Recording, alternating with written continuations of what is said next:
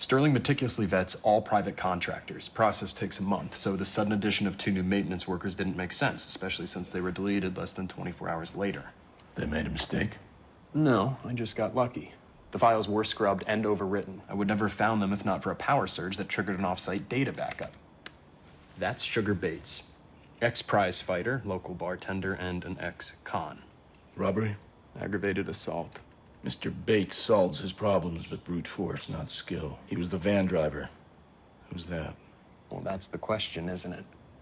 I cross referenced every facial recognition database there is NSA, MSS, Mossad.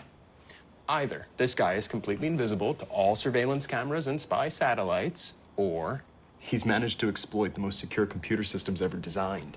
He's a hacker.